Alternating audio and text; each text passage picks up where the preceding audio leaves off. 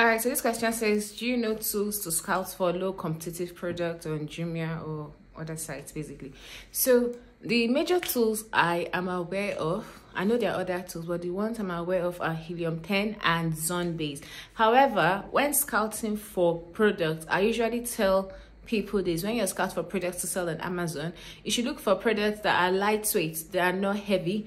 Look for products that you know that easy to sell, they are recurring. So these products that people need, not just want, because those ones tend to last longer unless you're in the game for just a short period or you're in the game for just the one that is trendy, basically. But if you're there for the long run, look for products that are recurring that people actually need and not the ones that they want.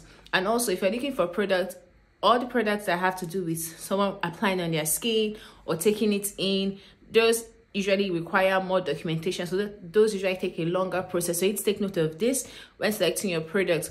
So yes there's helium 10 and Zonbase so even when you're searching through this category searching for products always take note of these few pointers when searching for products so you can select the best product to sell on amazon